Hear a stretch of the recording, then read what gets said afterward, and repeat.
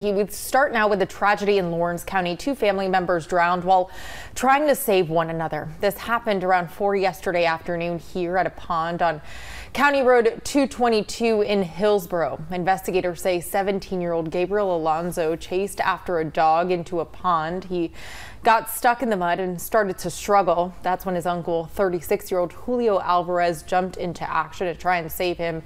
Sadly, neither of them made it out alive. The uncle jumped in, was able to push the nephew out of the, the pond, and then himself, he got stuck in the mud. And then the 17 year old, he jumped in to help the uncle, and he got succumbed as well in the mud and stuck, and they both drowned. Well, the Lawrence County Chief Deputy says this was almost a triple tragedy. A 15 year old nephew also tried to go in after those first two victims, but was stopped by other family.